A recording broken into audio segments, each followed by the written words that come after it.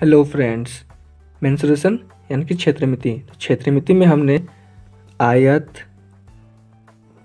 वर्ग और चतुर्भुज। तो इस चतुर्भुज में समांतर चतुर्भुज, समचतुर्भुज और समलम चतुर्भुज के बारे में पढ़े थे।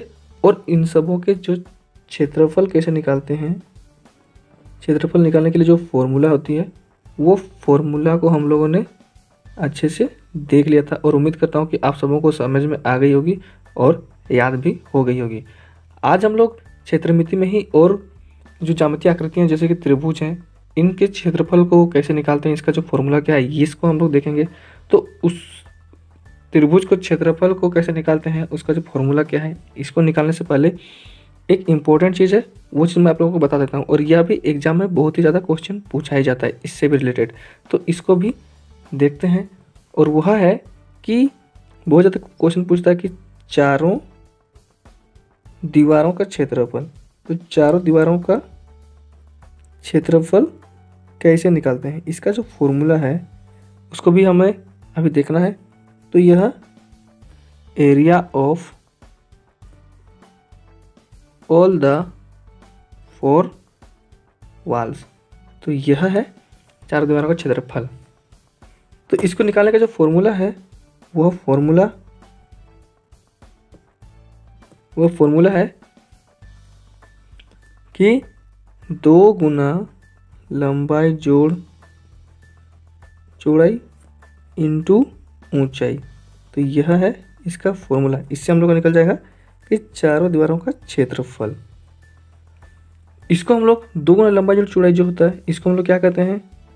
आयत का परिमाप कहते हैं। और साथ ही साथ में ये जो ऊंचाई है तो इसको तो हम लोग ऊंचाई ही लिख लेंगे। तो हमको यहाँ से यह भी ध्यान रखना है कि आयत का परिमाप इंटू हाइट यानी कि perimeter of rectangle into height करेंगे तो हम लोग को यहाँ से भी निकल जाएगा कि क्या? चारों दीवारों का क्षेत्रफल। तो यह फॉर्मूला को ध्यान रखना है। दोगुना लंबाई जोड़ चौड़ाई इंटू हाइट कीजिए, या फिर आयत का परिमाप इंटू ऊंचाई कीजिए। यह दोनों से हम लोगों को निकलेगा। चारों दीवारों का क्षेत्रफल area of all the four walls तो यह चीज़ को यहाँ पर जानना और समझना बहुत ज़रूरी है। यहाँ से भी क्वेश्चन बहुत ज़्यादा बनता है। आप लोगों को क्वेश्चन बुक्स में मिल जाएँगे तो आप लोग वहाँ से इसको देख सकते हैं और बना सकते हैं। अब बात करते हैं त्रिभुज का क्षेत्रफल कैसे निकालते हैं। यानी कि त्रिभुज,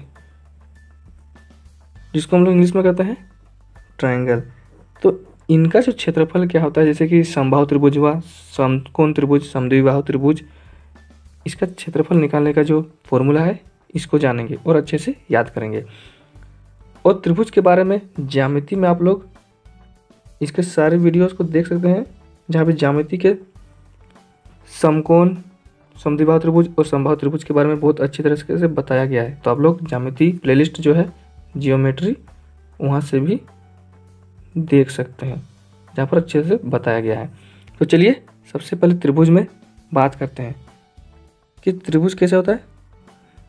जिसके तीन भुजाएँ होती हैं, तीन कौन होते हैं और तीन शीर्ष होती हैं। तो मान लेते हैं कि यह ए बी और सी है। तो यह भी एक त्रिभुज है।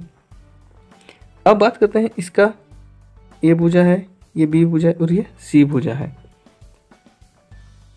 तो इस त्रिभुज का क्षेत्रफल कैसे निकालते हैं? इस त्रिभुज का क्षेत्रफल जो निकालेंगे, त्रिभुज का क्षेत्रफल, यानी कि एरिया ऑफ़ ट्रायंगल तो जब भी हम लोग देखते हैं कि अलग अलग भुजाओं की अलग अलग लंबाइयाँ होती हैं ए भुजा अलग है बी भुजा की लंबाई अलग और सी भुजा की लंबाई अलग है तो यहाँ पर हम लोग को इसको निकालने का जो फॉर्मूला है, वह हमें मिलती है हीरोन हीरोन या हीरो का सूत्र से। तो अब यह सूत्र क्या होता है? इसको देखते हैं। जब भी ए बी सी भुजाएँ अलग अलग लंबाई की होती हैं, तब यह हीरोन का फॉर्मूला लगता है। और यह ऐसे हर त्रिभुज के क्षेत्रफल में निकाल सकते हैं, इसका यूज़ कर सकते हैं। बसरते हैं कि उसकी भुजाएँ दिया हुआ है तो हीरोन का जो सूत्र क्या है, वो देखते हैं। तो हीरोन का सूत्र है under root s s minus a, s minus b और एस माइनस सी।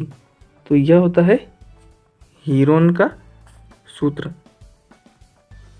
अब यहाँ पर जो एस है हमारा एस क्या है?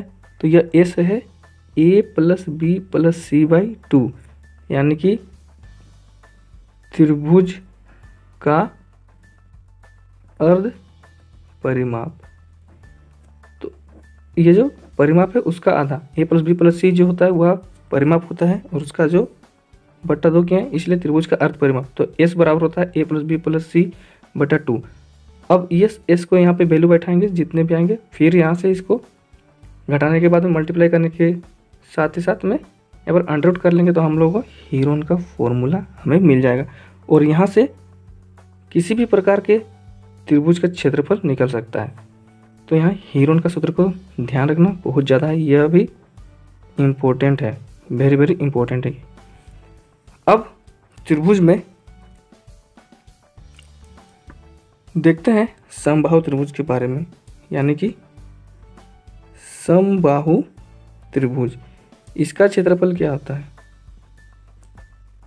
तो समबाहु त्रिभुज, इसके नाम से पता चल जा रहा है कि इसका तीनों भुजा मान लेते हैं, एक ए बी सी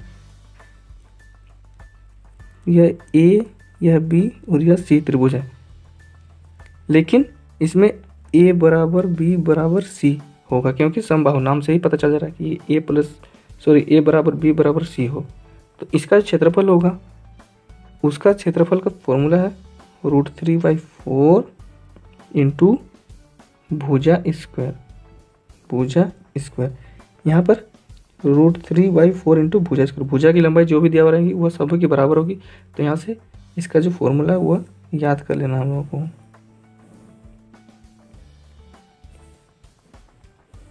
तो यह है हम लोगों का समबाहु त्रिभुज का क्षेत्रफल। Root three by four into भुजा स्क्वायर।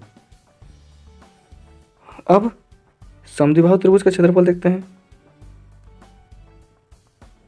समद्वि बाहु त्रिभुज का क्षेत्रफल। तो इसका जो फॉर्मूला है, वह है एक बट्टा दो गुना आधार गुना ऊंचाई। यानी कि half into base into height तो यह है हम लोगों का समद्विबाहु त्रिभुज का क्षेत्रफल। और यहाँ से इसको भी बहुत ही ज़्यादा इंपॉर्टेंट है। इसका भी यूज़ बहुत ज़्यादा क्वेश्चंस में होते हैं, जो कि क्षेत्रमिति में आप लोगों को अक्सर मिल जाएँगे। तो half into base into height होता है समद्विबाहु त्रिभुज का क्षेत्रफल। अब जो है समकोण त्रिभुज का क्षेत्रफल देखते हैं। समकोण त्रिभुज का क्षेत्रफल। जैसे कि नाम से पता चल जा रहा है समकोण। और जो समद्विबाहु त्रिभुज है, उसे हम लोग को पता चल जा रहा है कि जिसका दो भुजा बराबर होना चाहिए। मान लेते हैं यह भुजा बराबर है ए बी और सी इसमें जो है, ये ए भुजा है, ये सी भुजा और ये बी भुजा है। तो यहाँ पर हम लोग देख रहे हैं कि सी भुजा के बराबर में बी भुजा है। तब हम लोग का यह फॉर्मूला लगेगा। Half into base into height अब समकोण त्रिभुज का क्षेत्रफल, समकोण से ही हम लोग को पता चल रहा है कि ये समकोण होगा। ये जब सारी चीज़ों को मैंने ज्यामिति में बता चुका हूँ तो आप लोग वहाँ से देख सकते हैं। ए बी सी यहाँ पर कोई कौन एंगल जो है वह बी है तो ये समकोण त्रिभुज बन गया। अब इसका जो क्षेत्रफल होता है, उसका फॉर्मूला होता है हम लोगों का एक बट्टा दो गुना आधार, यानी कि इसको सॉरी आधार इंटू ऊंचाई। तो यह आधार इंटू ऊंचाई। इसको हम लोग ऐसे भी लिख सकते हैं, एक बट्टा दो गुना लंब, जिसको हम लोग ऊंचाई भी कर सकते हैं इंटू आधार। तो यह समकोण त्रिभुज का क्षेत्रफल है। लंब, ये लंब है। तो लंब को हम लोग ऊंचाई भी कहेंगे। ये हो जाता है हम लोग का लंब और ये हो जाता है आधार। तो यहाँ से भी इसको ध्यान रखना है। यहाँ पर एक उस चीज़ को और ध्यान में रखते हैं कि अगर समबाहु त्रिभुज दिया हुआ है तो समबाहु त्रिभुज दिया हुआ रहेगा। तो हम लोगों को क्या करना है? अगर कि इसका लंब निकालने के लिए कहता है समबाहु त्रिभुज में अगर लंब निकालने के लिए कहता है तो इसका हो जाएगा root three by two into एक भुजा। तो यह हो जाएगा, इसका लंब निकालने के लिए कहेगा तब। इसका ये समबाहु त्रिभुज का। Root three by two into भुजा, इससे उसका लंब निकल जाएगा। अब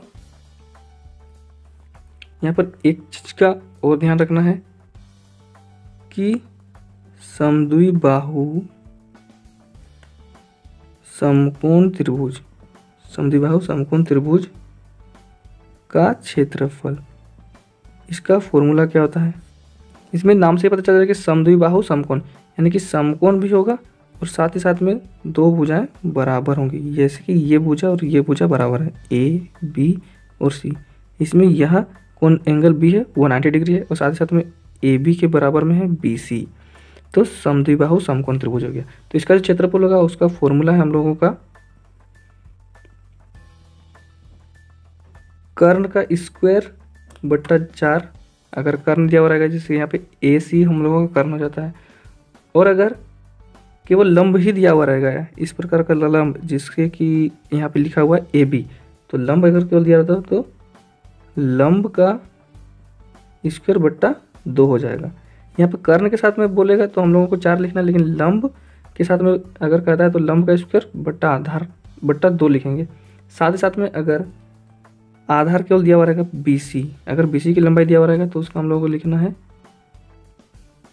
आधार का स्क्वायर बट्टा दो।